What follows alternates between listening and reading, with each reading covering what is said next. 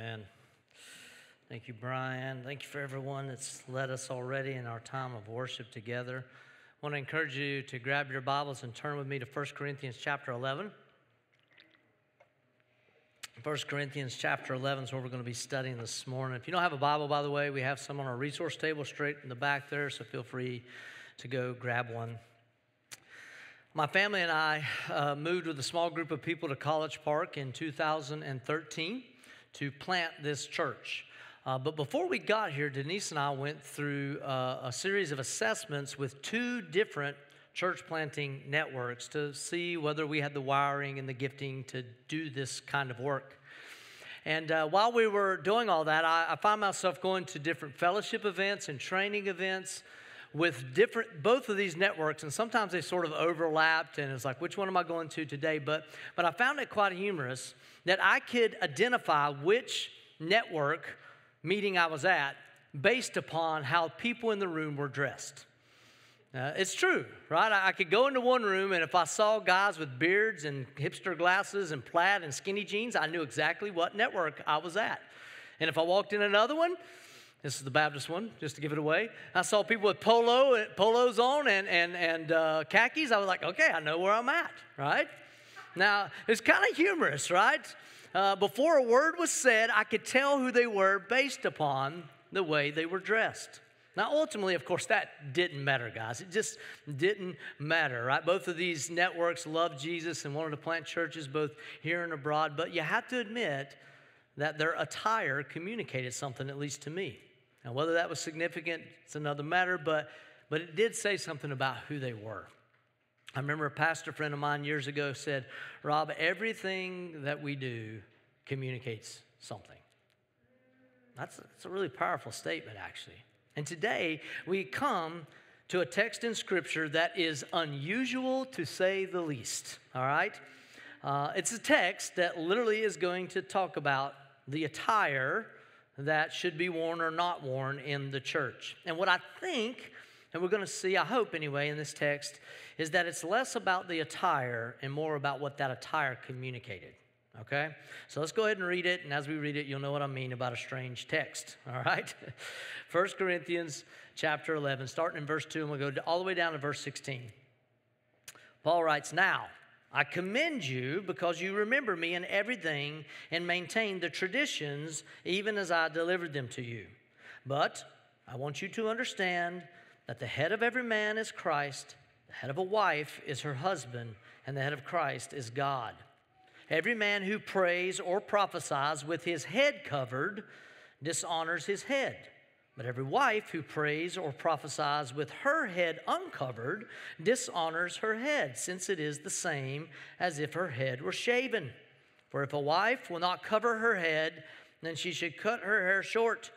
But since it's disgraceful for a wife to cut off her hair or to shave her head, let her cover her head. For a man ought not to cover his head, since he is the image and glory of God, but woman is the glory of man. For man was not made from woman, but woman from man. Neither was man created for woman, but woman for man. This is why a wife ought to have a symbol of authority on her head because of the angels. Nevertheless, in the Lord, woman is not independent of man, nor man of woman. For as woman was made from man, so man is now born of woman, and all things are from God. Judge for yourselves. Is it proper for a wife to pray to God with her head uncovered? Does not nature itself teach you that if a man wears long hair, it is a disgrace for him? But if a woman gets hair, uh, has long hair, it is her glory, for her hair is given to her for a covering. If anyone is inclined to be contentious, we have no such practices, nor do the churches of God. Just to clarify, I think it's important to pray every Sunday before we open God's Word, but I feel especially the need to pray this morning. Lord, thank you for your Word. It is good. Uh, Lord, it is, I believe, as the Word proclaims, sweeter, sweet as honey on our lips. I pray that that would be the case this morning, Lord. Love you, Jesus. Help us to come with open hands and submissive hearts to you. Pray in your name. Amen. Amen. Well, I sat down at my kitchen table on Monday morning, eager to get started on sermon prep. and I opened up 1 Corinthians 11 and I jumped in and began to read this passage and study it. And about three hours later, Denise walked into the kitchen and asked me how it was going, and this is what I look like. All right? yeah. Stressed out, man. Like, this is a tough passage. There's just no way to get around it, right? I was telling several of my brothers this week that there are some passages in the scripture that are really, really hard to understand, but once you get them, it's easy to receive the truth therein. And then there are other passages that are easy to understand, but hard to receive the truth. Well, this big boy here's got both of them. It is extremely hard to understand, and I believe it to be very hard to receive in the culture that we currently live in. And these are the weeks where our commitment to expository preaching is put to the test. Are we really going to go verse by verse? Yes, we are. So let's get at it here. I do want to say on the beginning here that this is one of those uh, texts of scriptures that we can get lost in in a hurry. We could proverbially miss the forest for the trees because there are so many questions in this text, aren't they? So many questions here. Um, and I say that to just let you know that there's a lot of rabbit holes that we can go down, and I'm not probably going to get to every question you have about this text. In fact, I decided to take two weeks to try to cover this because it's hard to understand and complicated. So we'll get two weeks at it, but I'm still probably not going to get to every question. Some I'll answer with more conviction than others. And what I miss, I, I, I promise you, your community group leaders can handle. So ask them this week. They, so have fun with that, CG leaders, all right? So let's get at the main idea. Here's what I think is the main idea of 1 Corinthians 11, 2 through 16. That the church of God should seek to communicate clearly, and I would add here joyfully, in our worship gatherings, the beauty of God's design for manhood and womanhood. Right? So let's make a note of where we are in the book, right? It's always good to remind ourselves of context. This is a letter that Paul had written to a church that he planted in the city of Corinth. At the first part of this letter, he addressed uh, some things he had heard about the church, some things that were going on, but, but now he's in what I call the now concerning part of the letter. He's answering questions that they had written a letter to him about now concerning these matters. It starts in verse 7, and so it is now concerning marriage and singleness. And so we had a whole section on marriage and singleness. And then he wrote a, a section on, of course, uh, 8 through 10. We, we spent several weeks there talking about this question about meat offered to idols. And, you know, that was a question that they had. And now he's going to answer a question concerning the wearing of head coverings in worship, right? And really, this falls into another kind of longer section. Chapters 11 through 14 are, are, are Paul addressing how the, the Corinthian believers are to order themselves and participate when they gather on a regular basis for worship. All right? So after this, he's going to jump into the Lord's Supper and, and not just, you know, do it. Hey, there's, you should do it a certain way, and there should be a heart posture when you come to the table. And we'll get into all of that. I can't wait to get to that passage, all right? And then he's going to talk about the exercise of spiritual gifts in the worship gathering and, and how we ought to think about those things. So let, us see the overarching point of chapters 11 and 14 is this that the church really does need to think carefully about what we do when we gather for worship. It's not unimportant, friends, what we do or how we do it. Because just as that pastor friend told me, everything we do communicates something both to the believers that are gathered for worship and to the outside world that's watching us. And friends, there's a lot of churches I don't think that think very carefully. I think we think carefully in the Church of America pragmatically what to do, right? How can we make sure the stage lighting looks good and, you know, all these other things that are not unimportant and there's a place for that, but we don't always think biblically about what we do when we gather, right? How we can be faithful. So as we come to 1 Corinthians 11, we need to ask what is this passage teaching us about our worship gathering? What do we need to communicate clearly to the believers within and the outside world? And I think that, that Paul wants us to understand this that there is distinction in manhood and womanhood. That distinction is seen in rightly ordered authority and submission, and that distinction uniquely reflects the glory of God. All right? Now, I know that probably didn't set well with some of you, so before you get too upset, just know my heart is to teach what's here, so let's see if that's what's here or not, okay? Uh, let's dive into it. Verse 2 Paul writes, Now I commend you because you remember me in everything and maintain the traditions even as I delivered them to you. So Paul commends them. I don't know about you, but that uh, he called them beloved, and now he commends them. This is a church that was a mess, and yet he commends them, namely that they remembered him and the traditions that he had delivered to them.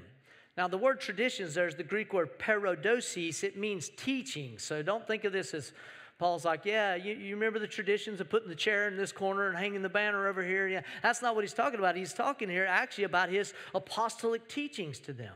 But he needs to clarify those teachings a little bit. Much of, of the writings of Paul in the New Testament is here because he needed to clarify something he had taught, right? And so here's what he says in verse 3 But I want you to understand that the head of every man is Christ, the head of a wife is her husband, and the head of Christ is God.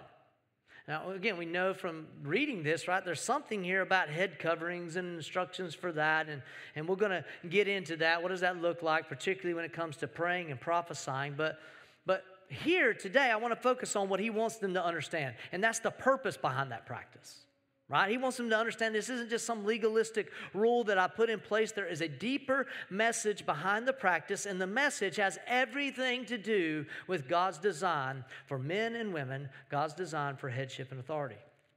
Now, again, naturally, any anytime we talk about authority and submission, our natural fibers just bristle up, don't they? I mean, from birth, we don't like the idea of authority. I mean, every kid I know, as much as they love their parents, still wants to push back on the authority of their parents. We're born with that. And man, we are really, really uncomfortable today in today's world anytime we talk about the concept of authority and headship when it's tied to gender. And, and that's right in some ways because there's been a lot of work done in our world, a lot of work done in society to, society to ensure that there is equality for women. And friends, that is good and that is right. In fact, contrary to popular belief, the equality of women is something that the church has always been at the forefront of and that the Bible clearly teaches on and, and, and gets behind. Right? You would do well to note, even in our text, as much as it sounds abrasive to us, that there's, there's some things in the culture of which this was written that actually elevated women. The fact that they were gathering for worship to learn, I mean, that was frowned upon in a lot of ancient contexts. Not only that, there's an assumption here that these women aren't just sitting there learning, but they're participating in the worship service, which again, which would have been very counterculture at the time which this is written. So I say that to say, please give the Apostle Paul the benefit of the doubt.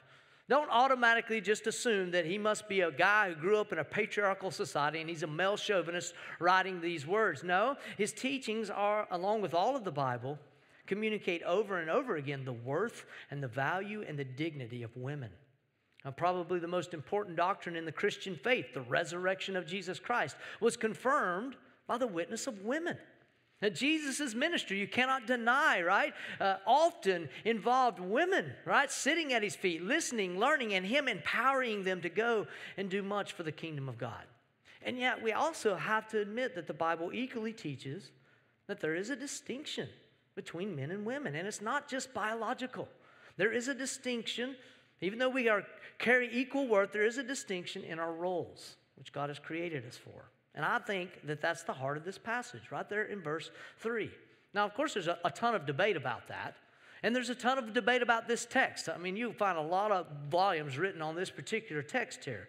And a lot of the debate here in 1 Corinthians 11 centers around the understanding of certain words in this passage. And so I don't normally like to do this, but I want to kind of dig in the weeds a little bit with some of the words here because we got to really get those down, I think, if we're going to understand this correctly. I want to look in particular at three words in the text here the words head, the words man or husband or woman, wife. All right? So let's start with the word head. That is probably, if you're looking for one word as the most important word, that's the most important word in this text. It's used 14 times in 16 verses. It's all over the place here, right? Uh, and it is the Greek word kephale. It's the word that means three different, it can mean three different things. It can mean the head, like as in the physical body part or on your body part on your shoulders. It can mean authority or it can mean source, as in like the head of a river, the source of the river, right? So obviously, those meanings carry with them different implications, right? And how we read this text. Clearly, there are a couple times in this text where Paul's talking about the physical head on your shoulders when he's talking about physically covering your head. But what about the other usage here? If Paul is using the word head here as source, well, then there's no implication of authority and there's no implication of submission tied to that, and therefore our applications change quite a bit. So, which is it? Is it source or is it authority? What do we do when we come to uh, a, a, word, and the, the, the New Testament was written in Greek originally? We come to a Greek word and it has different meanings. And by the way, this happens all the time in, in the Greek New Testament, right? So, for those of you who are really eager Bible students and you're out there looking up on Blue Letter Bible and stuff, I just want to give a word of caution to you to be really careful not to just go, oh, that word means, they could mean that, that's cool, and just like automatically plug it in. We can get in a lot of trouble doing that, right? What do we do? How do we determine how the author meant to use it? Well, there's a couple things we can do. One, we can look at how that word was used in other places, right? And so when we look at kephale in the Bible, we, we should note that every time, pretty much every time, kephale was used as a metaphor for relationships, it was, it was almost exclusively used as authority and not source. So that's kind of a, a key, key idea. Maybe that's more likely to use here. Paul, in particular, when he used the word kephale in relation to Jesus, which he, which he refers to Jesus here as the head, or having a head, right? Um, he always uses that word in, in, in, conjunction with authority. Let me give you a couple examples. Ephesians chapter 1, 22 says, He, God the Father, put all things under his feet and gave him, God the Son, Jesus, as head, there's that word, kephale, over all things to the church and if you read the whole of that passage, you'll see it's all about the enthronement of Jesus and his exalted rule. So it's pretty clear to me that he's using it as authoritative there. Or Colossians chapter 2, verses 9 and 10. He writes, For in him the whole fullness of deity dwells bodily, uh, deity dwells bodily, and you have been filled in him, Christ, who is the head, kephale, of all rule and authority. And you'll see a few verses later, the rule and authority that he's talking about is demons and evil spirits. And Jesus, of course, is not the source of those. He is authoritative over them, as we saw in our study through the book of Mark a few years ago, right? He was authoritative over demons, they, they obeyed his voice. So I think when we look at that, the common usage of the word, it's most often meant to be used as authority and not source. All right, but let's take it a step further. What the, the real key to understanding how the author meant to use a word was the context. We have to look at the context. Our context always will drive the meaning. So, what's, what, do we, what clues do we find here? Well, let's look at that last phrase there. He says, The head of Christ is God. The head of Christ is God. Now, if we read that as source, then I believe we've created some theological problems here. Because Christ has no source, right? It is, he was not a created being. God the Father, God the Son, God the Spirit all existed eternally as one God in three persons.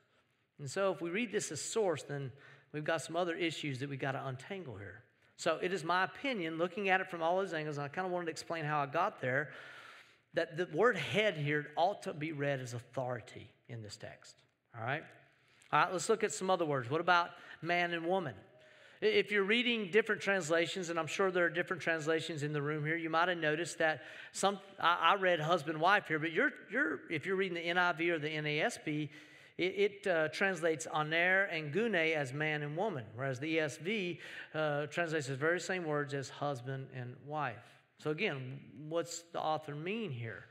Um, because those words can be used interchangeably. So looking at its usage elsewhere is pointless because those words are always determined by context. So, what's the context tell us here? Well, we'll dig into this a little more next week, but when we get to the end of this passage, he starts talking a lot about nature, doesn't he? When he talks about manhood and womanhood, men and women. So it seems to me that the whole of this text is talking more about the distinctiveness of men and women in God's creation in general, and not just in the distinction found in the, in the context of marriage.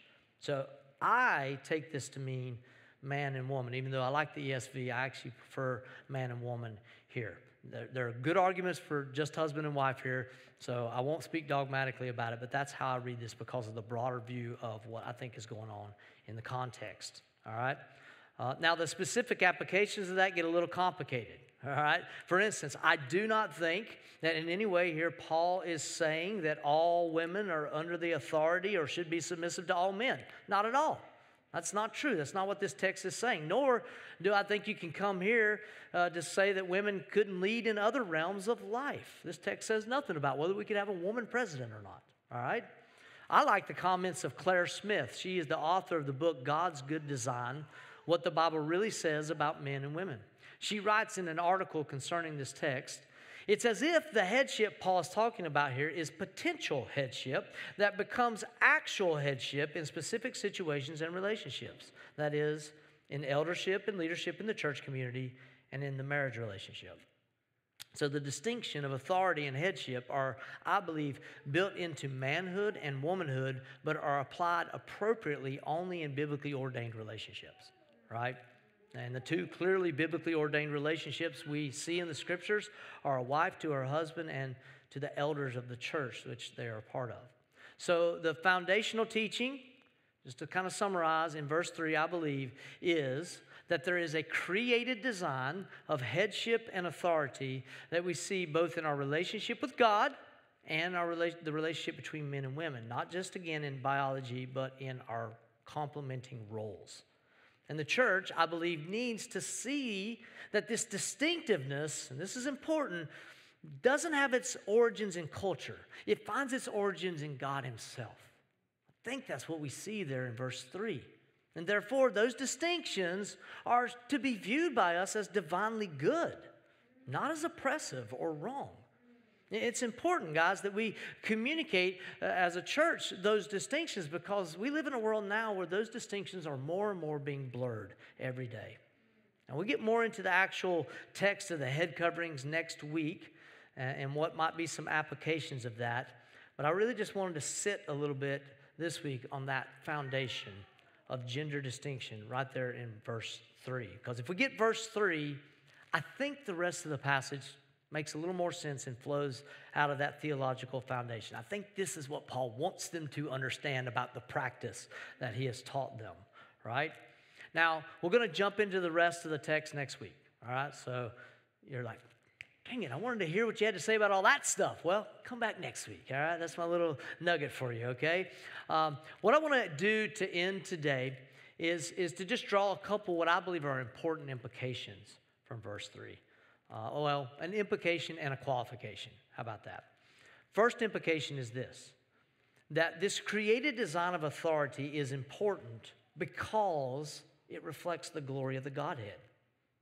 Why is it important that we recognize distinction in manhood and womanhood, that we acknowledge and honor the created design for men and women? Why? Why is that important? Well, because it's a part of reflecting who God is in this world. Uh, the way that Paul frames this is incredibly important, right? He's showing this picture of authority and submission, and he's showing that, that authority and submission is in the nature of God Himself. Uh, the order here in verse 3 is whack if we're just simply trying to lay out a picture of hierarchy. It's, it's mixed up, isn't it? No, I think Paul is being really intentional here. It's as if Paul wants these Corinthian believers to see hey, this idea of submission in creation, that is, man is created to be submissive to Christ, woman uh, created to be in submission to her husband, right? Uh, that, that, that this is in order to show something about the Godhead. That indeed, there is, even in the Godhead, the idea of submission. So he ends that verse with God is the head of Christ. Uh, that is, God the Father is the authority, if we're reading head that way, of the Son, and the Son is therefore in submission to the Father. And therefore, mankind, both male and female, created in the image of God, Genesis 1:27, we read to start our Sunday service here, can only fully image the glory of the triune Godhead when we live in rightly ordered authority and submission. There is, in other words, something about the goodness and the glory of God in the fullness of Trinitarian beauty that could only be reflected in the existence of both men and women, and men and women living within their design. And so, when a couple stands before their friends and family on their wedding day and say, I do, Paul says in Ephesians 5, there's so much more happening there than the exclamation point on their love story. Oh no, what's happening there is they are picturing the beauty of Christ and his church. The picture of the beautiful, self giving, sacrificial headship of Christ and the joyous submission of the church to his lordship.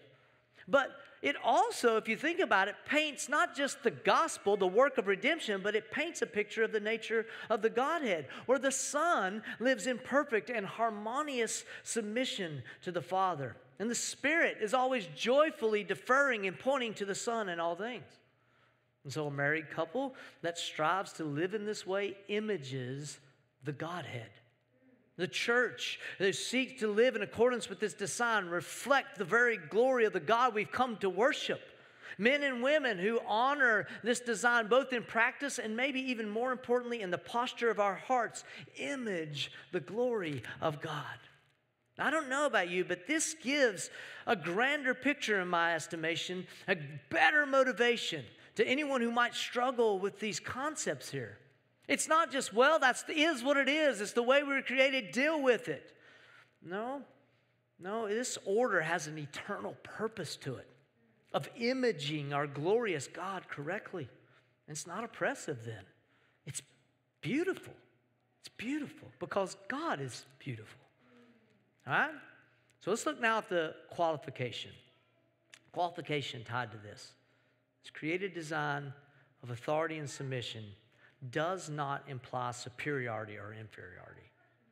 This is really important to understand. And I realize that might be a hard pill to swallow, but friends, authority doesn't mean superiority, and submission doesn't mean inferiority. And we're conditioned in our world to think that way, aren't we? I mean, from birth, we are. We're conditioned to think that the CEO in the boardroom has much more worth and value than the dude working in the mailroom. The word submit has negative connotations, right? In the octagon, if you get submitted, that's you were lesser, right? You were beaten. He's the victor. He's the better man, right? Now, that's how we're conditioned to think, but that's not the biblical view of authority and submission. And it's important that we bring that to, to bear here because oftentimes there are abuses that exist when there's a misunderstanding of biblical authority and submission. And we've seen that all throughout history, haven't we? I mean, there are some uh, uh loads of dim witted and honestly weak and cowardly men who have heard these beautiful truths and used them to puff up their own insecure self view, and then they attempt to lord authority over the women in their lives in abrasive, unloving, and abusive ways. And, friends, I just want you to hear that's unbiblical and it's absolutely unacceptable. Those are the men I'd like to throw in the octagon with Brock Lesnar for a few minutes, all right? It's, it's a gross misunderstanding of the role that God has given you. I mean, look at Jesus.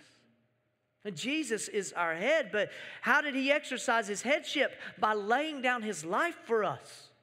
Jesus' headship was sacrificial, it was self giving. So men ought to quickly discard any silly notion that they might have in their minds that their created design somehow puts them in a position of superiority. I have to admit that much of the overcorrection on this doctrine in our world today is often the result of ungodly men confusing their God given design with an unbiblical view of superiority.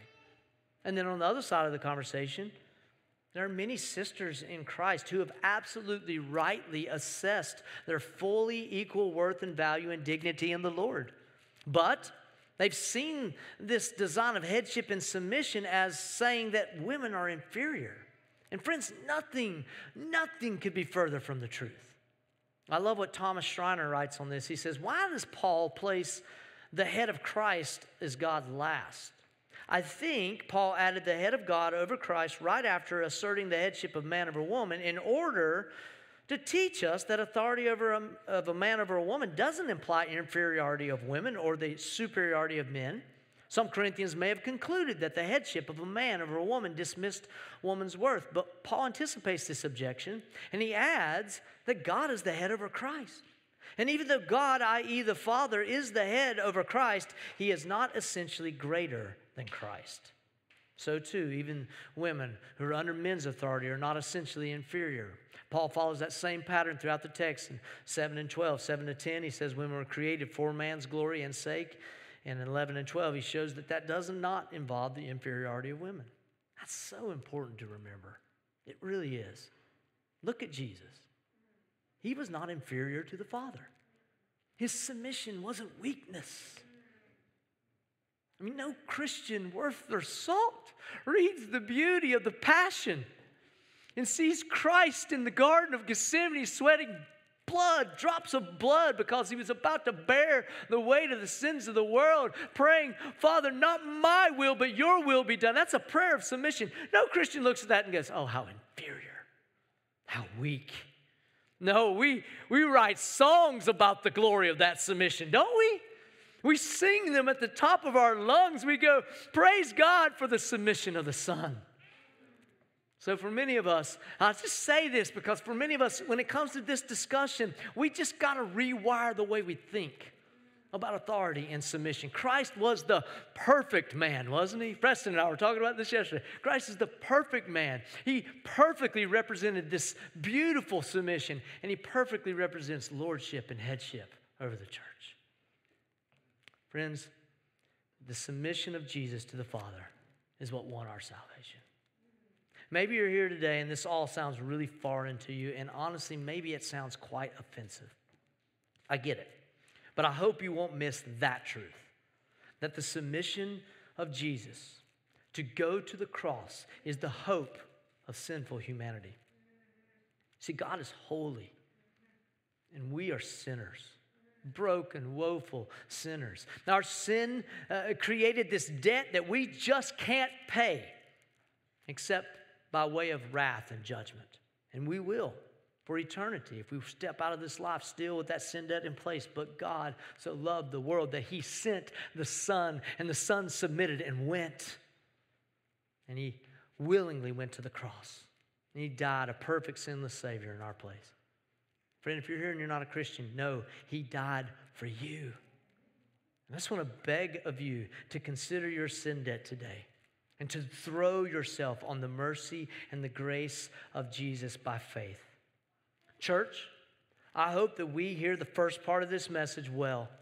I pray that we find ourselves more willing to submit to God's design for our lives than we are to the changing winds of culture around us. I pray that we can learn to celebrate the beauty of the way God made us and to live our lives in accordance with His design for us. I hope that the men in this room will wake up and understand their role. If you're married, to love and lead your wives. If you're not, to someday maybe do that, but to be the kind of men that can love and lead your church family and to treat your sisters with uh, the dignity and value they deserve as image bearers of God and redeemed by the blood of Christ. I pray we take seriously, men, our call to lead, and that we'll do it the same way Jesus did sacrificially and selflessly. It's a hard calling, but it's a beautiful one. And I pray for, pray for the women in this room this morning. I pray that you would see the beauty of your womanhood and that you would embrace it in all of it, in all its created design for your life. And so I don't know what you heard from this message because I know the enemy loves to sow seeds of discord. But here's what I want you to hear you are necessary, you are valuable. We need you. We need each other, men and women, to fully engage our glorious Lord and worship Him. I know this isn't a popular message in the world that we live in, but we need to be submissive to God's word. And more than that, because we could be submissive with gritted teeth, right? More than that, we should trust that what God has done is good because He is good. And may we honor the Lord together as men and women in Jesus. Let's pray. God, thank you for your word. It is good. Uh, sometimes it's hard to hear the goodness of it because we're broken people and we grow up in a broken world.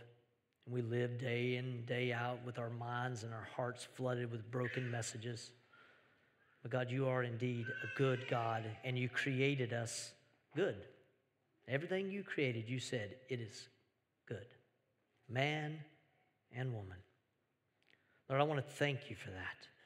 And I want to ask and pray today that we would allow you, Lord, to just transform the way we think about creation, the way we think about you the way we think about one another. The reality is, God, we will, until you return, struggle with this because we just won't live in light of our design often. But I pray that we'll strive day by day to live more and more in a way that honors you, Lord. Um, so, Lord, I pray for transformation in this place. Pray for transformation in my heart. And I pray that you would be honored and glorified. God, we love you, and we pray all of this in the name of Christ our Lord. Amen.